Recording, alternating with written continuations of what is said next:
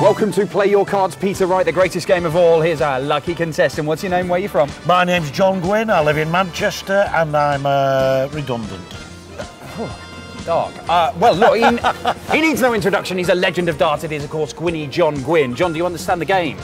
I think so. Well, we'll figure it out. We have 32 cards here. There are the some of the top players in the world. I am going to ask you if the next card along is higher in the world rankings or lower than the previous one. Higher towards Michael Van Gerwen, lower towards Rod. Harrington. There are four Rod Harrington Joker cards in the pack. What do you get for a Rod Harrington Joker card? Nothing. That's right, because Rod Harrington wins nothing at the Worlds. Let's start with Raymond Van Barneveld. Raymond Van. Now, in the world rankings, he is number 12, I believe. We're just going to double check that for you, Gwynny. And he is number 12. Yes. Of course, he's number 12. So, would you like to go higher in the world rankings or lower in the world rankings? Higher towards Michael Van Gerwen or lower? I'll go higher.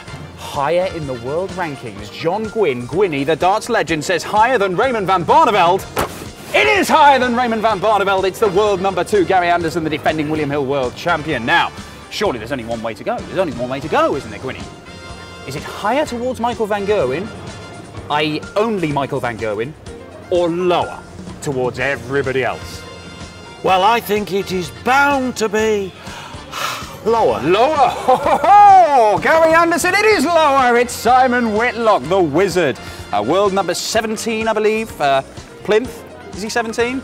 Yes, Human Plinth says yes.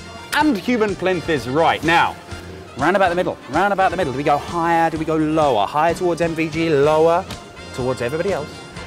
I will go from 17 higher. Higher, higher than Whitlock, higher than the Wizards.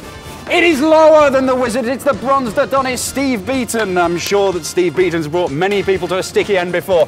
You too, John Gwynne. Wave goodbye to everybody. Thanks for playing.